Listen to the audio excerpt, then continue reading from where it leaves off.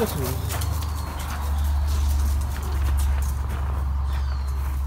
Okay. Yeah, you're gonna complain about the new kid? And uh, yeah, you're a good baby. You're just having a rough time, skinny kid. You're just a skinny kid, huh? So this guy landed in your yard yesterday. Yeah, and I mean, my neighbor goes, you know, you got a bird out there? And I, so I came out there, and I, of course, I hobbled out there, and I go, well, that's certainly not good if it's on the ground and it's not Yeah. flying away from me. And then I could see that's that's no red tail.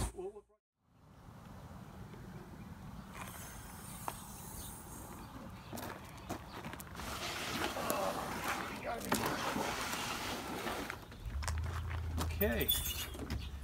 We have a very pretty little young golden eagle that uh, has, again, like this time of the year, that gets separated from mom and dad, uh, is having some problems feeding itself. It was uh, found in some people's backyard um, weak and and the, the really good thing is the individual that actually found it was a falconer living um, here in southern Utah. And he basically was able to pick the eagle up, put it in one of his chambers, and, and then give me a call. And he put some food in for the eagle, which is actually the appropriate food, which is wonderful for a change. And the eagle has eaten. And so it's got a, a, a crop full of food. Let's see if I can grab the little kid here. Can I grab you without you grabbing me? Yep. I can. Come on, sweetie. Come on. Yeah, getting them out of the box is always the, the most dangerous part. But that's okay. Hi, sweetie. Now it's time to give you a bit of a physical. And see how you're doing. You got food, your crop right there, so that's really good. I'm proud of you, sweetheart. And so, uh, Tell him what kind of food he fed him. yeah, basically the same thing. The, some of the same kind of food that we have here. Uh, he because he's a falconer, he has uh, Coturnix quail, which is something that uh, that we feed our birds as well. So the eagle got a got actually a good meal. Now it's time to see if you're in one piece. I think you are. I think you were just starving, sweetie, because you're you're a little bit skinny. But let's see what we're looking at here. Yeah, let's see what we're looking at here. Let's start up here, the shoulder. And see how that, oh, that's nice and stable. That feels good. And the bone all the way down. And uh, the, that joint is good and stable too. Come on out. It, it extends properly. That's good and tight. Good. Missing some feathers. Missing a feather or two, but you know, that's not critical. So that's okay. Your feet are beautiful. They look just fine. There's no problems with that. And your legs are feeling good and strong. So let's see about the other wing. See where we're at here, sweetie. Okay. Okay, the joint feels good and tight. What a good boy. You know, the golden eagles are really nice. They've got a, a, a little better personality than the bald eagles do.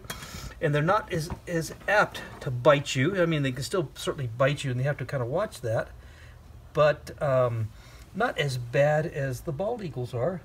What a pretty, pretty baby. You really are. Okay. And again, especially in the summertime, we treat for lice. And so we, in fact, I, I'm excited because we did a box opening today and we got a brand new fresh bottle of, of, of bug spray here, parasite spray that we use for the birds. And this is, this is what works the best for these guys because it only takes um, one treatment when we when they get the bird in, and then a treatment usually about a week or so later, and then the bird is good until we release it. We give it another little treatment before we turn loose. And so, I think you're beautiful. I think you're you're going to be a, an easy one. Yes, you are. You're going to be an easy one.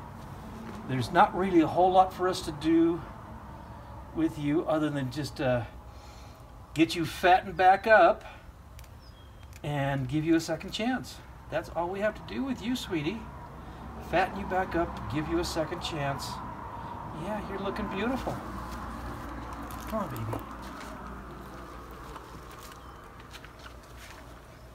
Yeah, I know it's scary. It is so scary to have to come to a place like this. But the good news is you're not going to be with us too long.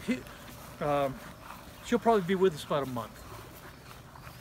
And I'm going to introduce you to some new friends.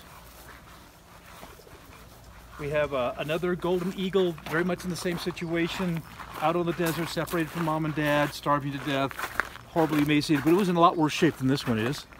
And we have a bald eagle.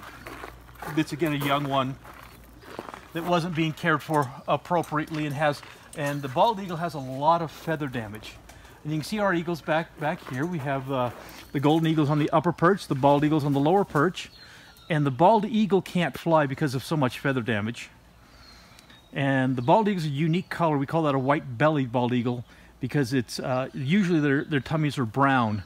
But uh, this particular one's got a little genetics that gives them a little bit of a white belly. And But as an adult, when he's an adult eagle, he'll have a white head, white tail, and a black body.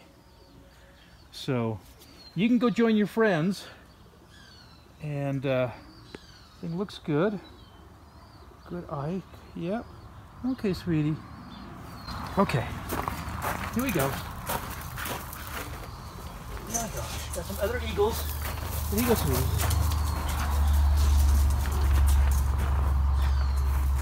Okay. Yeah, you gonna complain about the new kid? You be nice to her.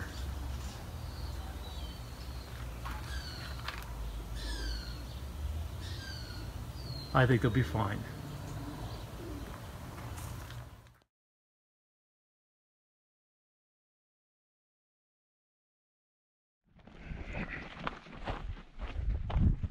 Oh, there he is. I see him. He's flying a little bit. You start going this way. Time to get my exercise.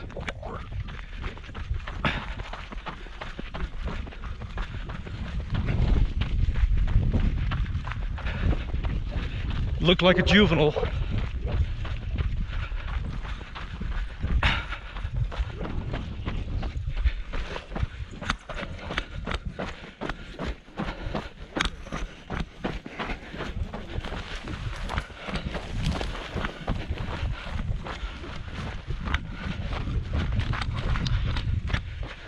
Okay.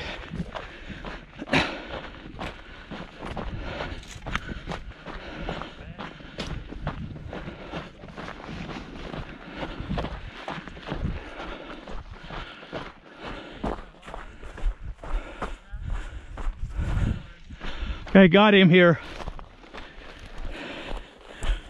Okay. Get into high gear. I can catch this guy.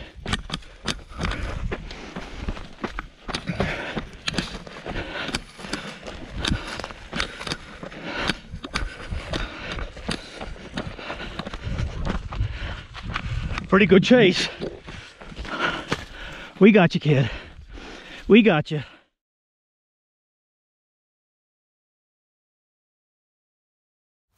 Was this eagle skinny or? Yeah. That also doesn't have good primary molt. Yeah, it's kind of weird. Yeah, a college kid called me a couple of weeks ago. And I told him to call the division. He says it has a French molt. And I says, uh, cocky. Yeah, I mean, that's a French molt is in domestic birds where the feathers grow in all curly. And, and so that was this bird? Because I don't remember it being, being in the, the farm. yeah, it was at the farm. That was this bird. I was, okay. Because I never got a straight story. Going, Yeah. And then, you're, you're watching the Who are you watching it for? I mean, what's going on? then one of your conservation officers called me the next day and said were doing a report. And I says, well, we can go out and get it. And uh, yeah, that's not an issue. And he said he wanted to go watch it and see if it's